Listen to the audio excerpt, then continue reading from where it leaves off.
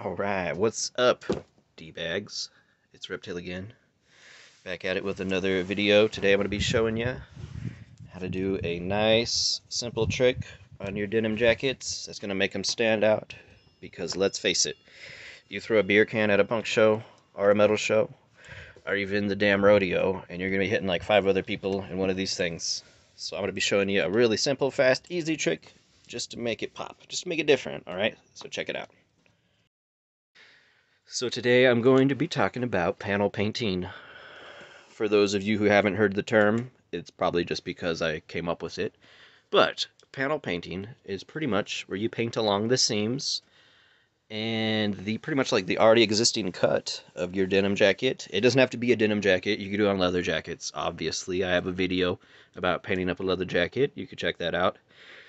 But today we're going to be specifically working on denim jackets. So we're going to be painting along the seams of the denim jacket, and it just adds a whole different effect.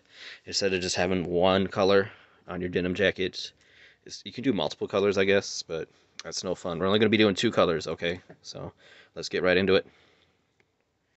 So first things first, you're going to need some gloss acrylic paint.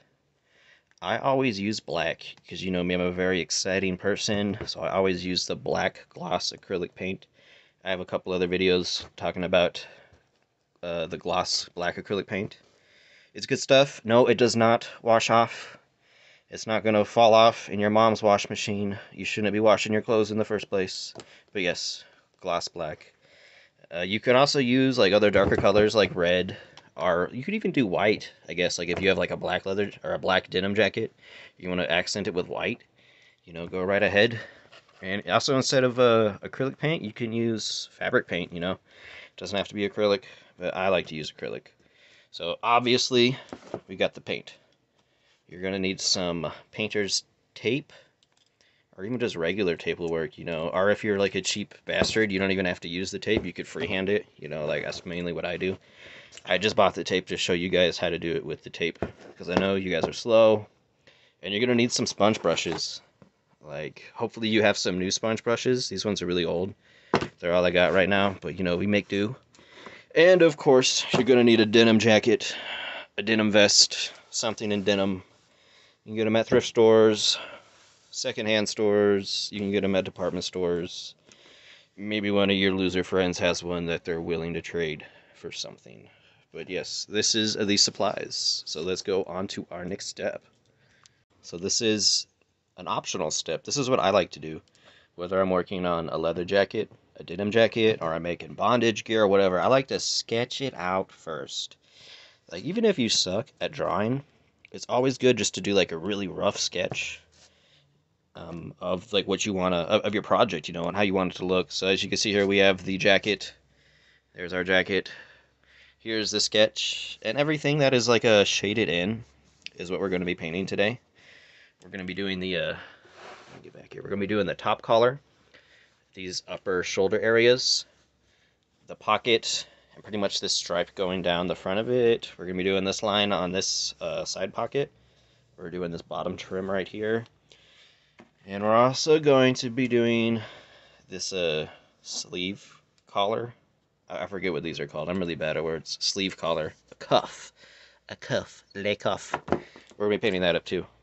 Yeah, I have it all drawn out so I don't forget what I'm doing. Like I said, this is optional. You don't have to draw it out. But it does help in the long run. And on to the next step. So the next step will be taking our painter's tape, scotch tape, whatever tape you got. And we're just going to mark out everything that we're not going to paint. Um, reference back to your terrible drawing. And yeah, we're just going to mark everything off that we're going to paint. Okay, this should be pretty self-explanatory. I'll show you when I get there, okay? So we're laying the tape down. And uh, yeah, it's coming along nicely. Um, obvious, obviously, I know everything in here is going to be black. So we're going to lay our black. And something that might help you is just having a razor blade. And just run a razor blade across these seams to pretty much just to fix up your tape. It could come in handy. You don't necessarily need it, but it will help if you have one lying around, which I'm sure most of my viewers do have a razor blade or two hidden away somewhere. But anyway, I'm going to keep on laying this tape down. Check it out. So after you got your tape done, you want to really, really press it down so it sticks. Just go through the whole thing so it sticks. We're doing the front right now. We're going to make sure all the paint sticks. We're going to flip it over and do the same thing with the back. Alright. Alright, alright. So we have our uh, jacket all taped out. It's all ready for paint. Now, if you really want to be a butt stickler about um, prepping your jacket with this, this tape, you could put all the spots, you could put some newspaper underneath the spots that you want to keep the denim color. You could do that if you want. I'm not going to do that, but go right ahead if you want to do that. For the sake of this video, I'm not going to do that. But it is, it's definitely an option. So, but anyway, now we got our jacket all taped out, prepped. You want to use this step to go through and just cut off any excess tape you have hanging over and just fucking make sure your seams are tight, you know, before we lay the paint down. Alright, we're gonna lay the paint down. Lay the fucking smack down. So we're gonna get right into the uh, painting part of the video. And like I said, I use this acrylic gloss paint. Um, I'm using black. This is a gray denim, so black makes it really pop. Um, I'm gonna ramble a little bit real quick. If you're using like a blue denim, I would like stay away from white colors, yellow colors, yellow colors, like these really bright colors. Those don't really stick to blue denim that well. And they, they don't really like show through because you see the blue underneath. So just a heads up, if you're doing a blue denim, uh, paint that shit black. Okay, just avoid like bright colors with a blue denim. But this is a gray denim, and I'm to be doing black. So let's get right into it. And yeah, I'm using the gloss acrylic paint. I've used this before in my other videos, and like I say, this stuff will not wash off, okay? And once it's like part of the jacket, it adheres to the jacket, it becomes a part of the jacket, and it like turns into like this nice rubbery leather texture. It's like an old school thing that uh, punks have been doing to their pants for uh, forever, you know, since like Stonehenge, you know. Anyway, gloss acrylic paint and also, one thing you don't want to do is like fucking fucking splooge that shit on, like a Mormon boy on date night. You want to do nice, nice thin layers, okay? And this is what I do. Like I just come in, do a little bit, take your sponge brush or whatever you're using, and and just work, just work it in. Make sure it's a nice, even, even coat, okay? I'm doing this left-handed, but this is what you do. You know, you just splooge just a little bit on and just work it in. All one layer, okay? I'm going to be doing my first layer, all nice, one layer, nice and smooth. I'll show you when I'm done, okay? There we go, we got our first layer. We're going to let it dry for like an hour. It's really wet right now. We're going to let this first layer dry, and then we're going to hit with the second layer, okay? So while this first layer is drying, we're going to flip this bad boy around. We're going to do the front.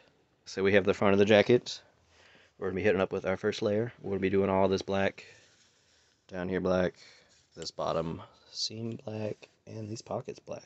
Alright, so let's get to it. Alright, alright, so we have our first layer on the front and the back done. And it looks, it, it looks like shit, because we're not done yet. But yeah, this is all just the first layer. Our next step is going to be going back and going over the second layer you're going to want your first layer to sit and dry for like an hour. You can even let it sit overnight, you know. Just make sure this really is adhering to the paint. Just let it chill out, you know. And another thing with this first step is that you want to go in and make sure that your seams and like underneath your collars are also black. You know, and you could also go over here to your uh, cuffs, your leg cuffs, whatever you want to call these things wrist cuffs. I think that's the word I've been looking for all night. But you can also do the inside of the wrist cuffs black. I'm not going to do it, but you can. If you're one of those people that uh, unbutton your denim and like cuff it up to your arm, that's another fancy thing you could do. I might do it. I'll show you if I do. But anyway, just take your time.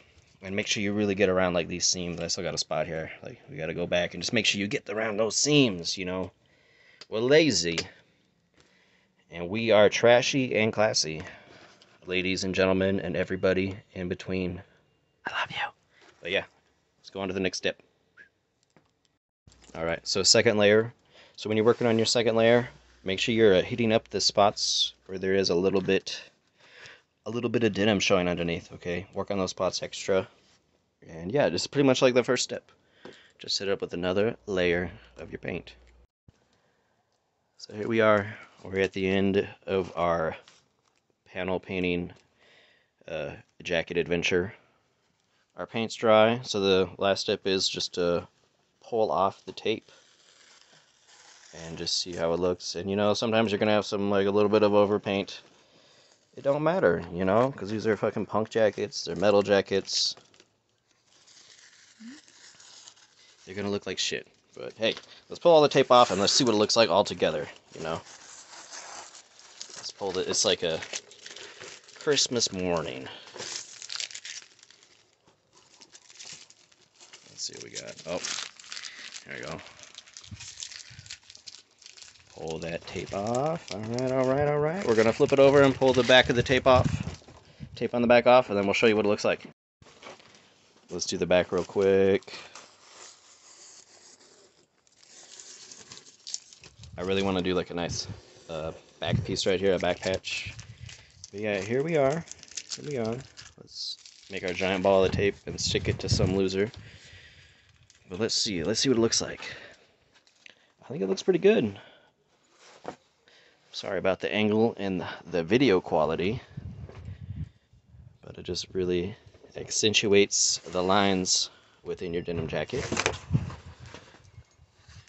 It just makes it look just makes it look a lot different than other denim jackets, you know. And you don't have to do it the same way I did it. You could even just do the seams, you know. Use this technique just to do the seams. Paint them over, you know, whatever color you want, you know. But hey, I'm gonna I'm gonna show you what it looks like and flip it around and show you what it looks like. So here we go. This is what it looks like at the end.